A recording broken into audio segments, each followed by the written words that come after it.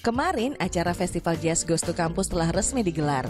Perhelatan yang rutin diadakan setiap tahun sejak tahun 1977 tersebut dihadiri oleh banyak penonton yang tidak hanya menikmati sajian musik namun juga festival. Jazz Goes to Campus ke-39 kali ini dimeriahkan oleh musisi-musisi tanah air antara lain Rizky Febian yang baru pertama kali ikut, Kahitna hingga Indra Lesmana yang telah memeriahkan sejak tahun awal terselenggaranya Jazz Goes to Campus ini. Nah, bagaimana tanggapan mereka berpartisipasi dalam event jazz tertua tanah air ini? Ya, bisa dibilang ini satu kehormatan dan kebanggaan buat Iki pribadi karena ini kali pertama bisa main di JGTC yang bisa dibilang ajang yang sangat luar biasa, bisa bilang juga ini tahunan juga. Dan di tahun pertama Iki masuk ke dunia musik dan akhirnya Iki bisa juga berpartisipasi di acara besar ini, jadi sangat luar biasa.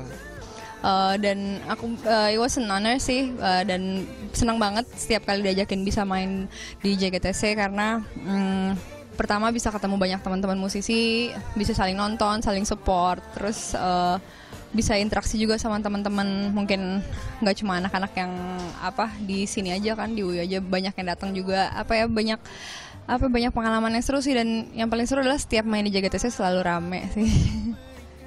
Um, tahun ini pertama kali. Setelah. Setelah jadi sudah cukup lama ya lebih dari 10 tahun. Dan Uh, seingatku pertama kali Kahitna main di JGTC itu tahun 86 tapi waktu itu vokalisnya masih belum belum ini masih Tri Utami.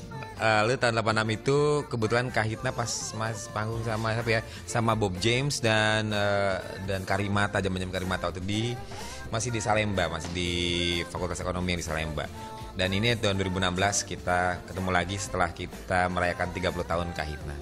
Intinya seru banget bagi Bara Suara sendiri bisa kolaborasi sama dua musisi idola kita dan favorit kita bisa berkarya bareng di panggung itu anugerah terindah yang pernah kami miliki.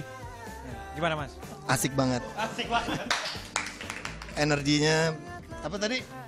Ah, gokil. Gokil. Mas Indra tadi cerita di dari pertama. Dari pertama di Salemba.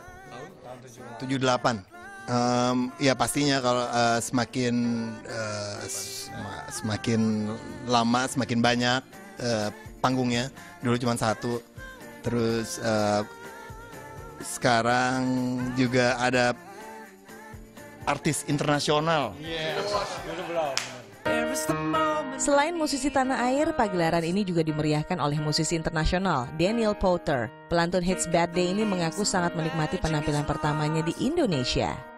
I mean, it was just amazing. I was, I was especially um, uh, blown away by the other musicians, like the other bands playing, like how good they were. How they're fantastic. I mean, just their skill level, and I never know what to expect. I, these guys were phenomenal. So, um, and then the people were just so lovely and, and gracious and humble and I, I, just I had such a great time with them tonight. They felt like it felt like a family, you know, and that's what music to me is all about. It's always been about participating with them because I always feel like if you can bring people in, so they did a great job. I was really, they sang so amazing tonight.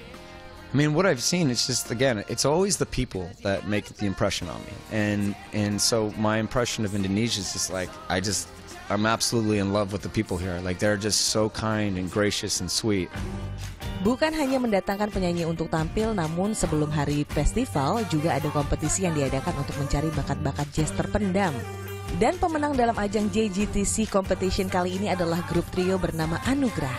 Memang ini uh, anugerah banget sih sesuai dengan nama band kita gitu.